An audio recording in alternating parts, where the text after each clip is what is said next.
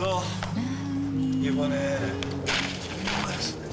과장님, 우리 진짜 수지 딴거 맞죠? 어, 나 아직도 믿어지지 않아. 우리가 해냈어. 아이고 예쁜 거. 정말 최고의 파트너야 나한테. 감사합니다. 아, 얼른 가세요, 과장님. 사모님 기다리시겠다. 알았어 알았어. 그래 내일 보자 들어가. 네, 데려다 주셔서 감사합니다. 아저 내일 점심 같이 먹자. 알겠습니다. 아 안녕. 윤희수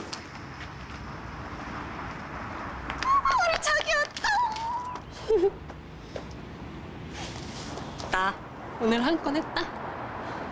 저 남자 누구냐? 아, 우리 회사 과장님. 과장님이 나보고 일을 너무너무 잘한대. 강백호 여친이 엄청나게 능력자래. 그래서 앞으로 팍팍 밀어주신대. 짱이지? 그래서 좋아? 너무 좋지. 야 유부남이랑 술 마시고 손잡고 차로 데려다주고 그러니까 좋아? 아이, 뭔 말을 그래. 과장님은 회사 상사일 뿐이야. 집도 같은 방향이고 대리 부른 김에 데려다 준 건데 나 못 믿어? 너 너 오늘 무슨 날인지 알아? 우리 700일이야. 너 까먹었지? 난 내일인 줄 알았지. 야 그래놓고 다른 남자랑 둘이 술을 마시냐? 회사 일 바쁜데 깜빡할 수도 있지. 뭘 그래. 내일 701일 기념하면 되잖아. 뭐라고? 아 그리고 처음부터 둘이서 마신 것도 아니고 뭐 기분 좋아서 과장님이랑 한 잔 더 한 건 사실이야. 사회생활 하는데 그런 것도 일일이 오빠한테 허락받아야 돼?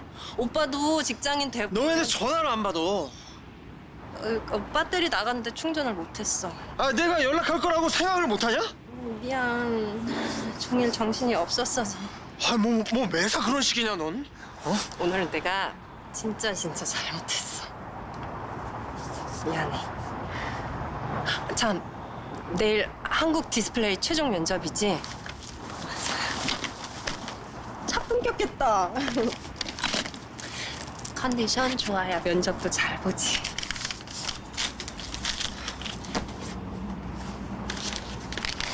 택시 타고 가서 얼른 자. 알았지? 미안해. 가.